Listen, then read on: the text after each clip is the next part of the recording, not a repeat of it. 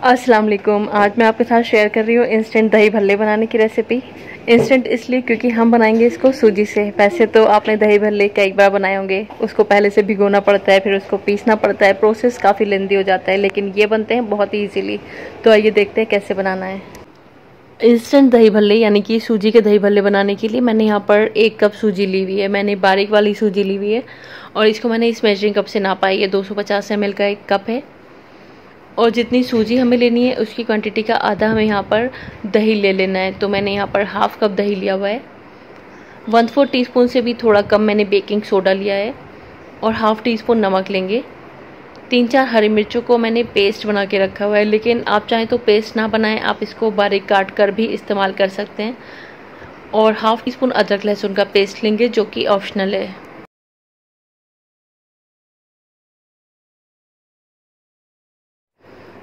सबसे पहले हम इसका बैटर बना लेंगे तो सूजी में हम दही डाल देंगे और इसको मिला देंगे। और अब हमें डाल देना है इसमें अदरक लहसुन का पेस्ट और हरी मिर्चों का पेस्ट और नमक डाल देंगे। बेकिंग सोडा हम बाद में डालेंगे जब सूजी फूल जाएगी। अभी सूजी फूली भी नहीं है और इसमें हम पानी डालेंगे। तो मैंने हाफ़ कप पानी लिया हुआ है, जिसमें से थोड़ा थोड़ा करके डालेंगे। एक साथ पूरा पानी नहीं डालेंगे और इसका एक गाढ़ा सा बैटर बनाएँगे। थोड़ा पानी मैं अभी और डाल रही हूँ। और इसको मिला देंगे। तो ये देखिए, गाढ़ा सा बैटर बन गया है। अब हमें इसको ढक कर रख देना है 20 से 25 मिनट के लिए, जिससे कि सूजी फूल जाएगी। तो 20 से 25 मिनट के बाद हम इसको चेक करेंगे। तकरीबन 20 मिनट हो गए बैटर को रखे हुए। तो अब हम इसको चेक कर लेते हैं। ये देखिए, ये रखे रखे, थोड़ा गाढ़ा हो गया है, क्योंकि सूजी ने जो पानी था वो एब्जॉर्ब कर लिया है। तो मैं इसमें एक से दो टेबल स्पून पानी और डालूँगी। टोटल मैंने हाफ़ कप पानी का यहाँ पर इस्तेमाल करा है और जो हमने बेकिंग सोडा बचा लिया था, वो भी इसमें डाल देंगे, अच्छे से इसको मिला देंगे। और ये देखिए, इस तरह की गाढ़ी सी कंसिस्टेंसी का हमारा बैटर तैयार है। भल्लों को फ्राई करने से पहले हमें एक पानी तैयार करके रख लेना है। इस पानी में हमें भल्लों को डुबोना है, जब वो फ्राई हो जाएँगे। तो मैंने यहाँ पर तीन कप के करीब पानी लिया हुआ है। इसमें मैं एक टेबल स्पून शक्कर डालूँगी और हाफ़ टी स्पून नमक डालूँगी। और इसी के साथ वन एट टी स्पून डालेंगे हींग। दो चुटकी के करीब है ये। और इसको अच्छे से मिला देंगे। ये नॉर्मल टेम्परेचर का पानी है, गर्म या गुनगुना नहीं है नॉर्मल पानी है। अच्छे से इसको मिला देंगे। जब हमारे भल्ले फ्राई हो जाएँगे तो तेल में से निकालने के बाद डायरेक्ट भल्लों को हमें इस पानी में डालना है। फिर हम अपने बैटर की तरफ़ आ जाते हैं, भल्ले बनाने के दो तरीके हैं। या तो आप हाथों पर थोड़ा सा पानी या फिर तेल अप्लाई करके इसमें से एक पोर्शन लेके इसको हल्का सा गोल टिक्की टाइप का शेप दे दें इस तरह से। या फिर दूसरा तरीका मैं आपको अभी पैन की तरफ़ चलते हैं, तब दिखाती हूँ। इस तरह से इसको ड्रॉप कर देना है हमको।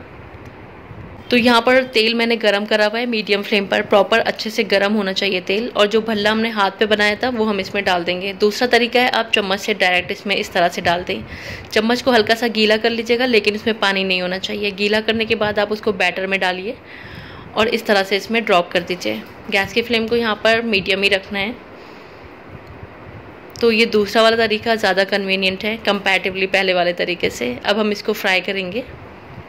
शुरू एक से डेढ़ मिनट हमें इसको टच नहीं करना है। जब ये अपने शेप में आ जाएँगे, तब हम इसकी साइड्स को बदलेंगे और दोनों तरफ़ से गोल्डन और क्रिस्पी होने तक इनको फ्राई करेंगे।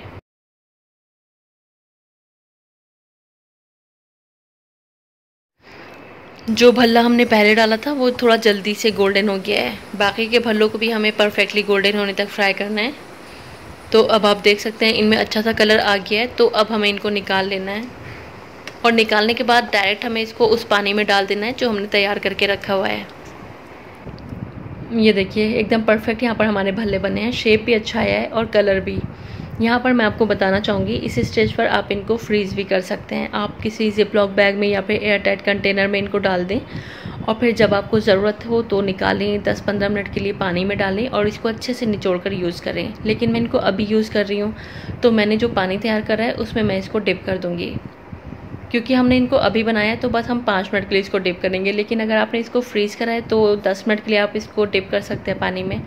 बस पाँच मिनट के लिए इसमें डले रहने देंगे, फिर हमें इसको इसमें से निकाल लेना है और निचोड़ लेना है अच्छे से।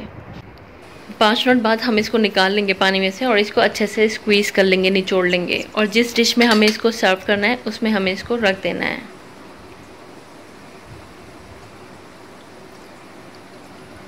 इस तरह से।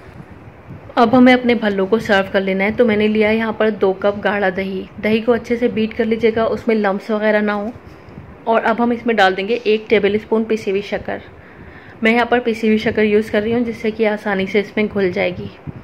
और अब हम दही को पोर कर देंगे भल्लों के ऊपर। अच्छे से इसको कवर कर देंगे।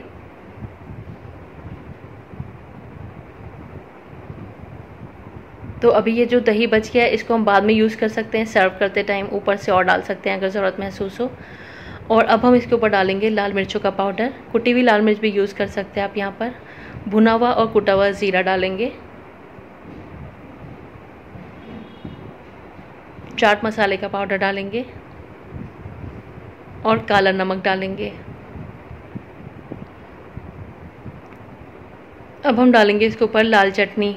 इस चटनी का लिंक आपको मिल जाएगा मेरे चैनल पर। डिस्क्रिप्शन बॉक्स में मैं दे दूँगी। ये इमली की खट्टी मीठी चटनी है।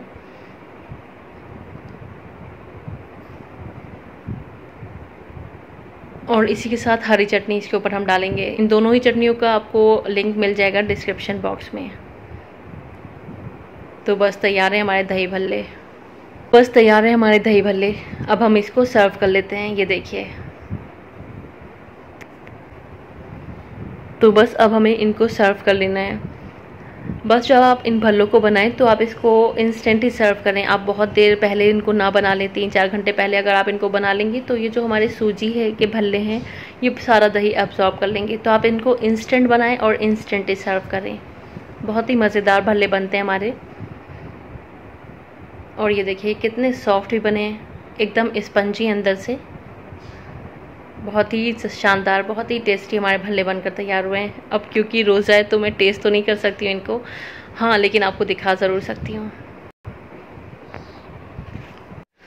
आई होप आपको मेरी सूजी की दही भल्लों की रेसिपी पसंद आई होगी। अगर पसंद आई है तो प्लीज़ इसको लाइक ज़रूर करिएगा फैमिली और फ्रेंड्स में शेयर ज़रूर करिएगा। और अगर आप मेरे चैनल पर पहली बार आए हैं तो प्लीज़ बिना सब्सक्राइब किए मत जाइएगा। Thank you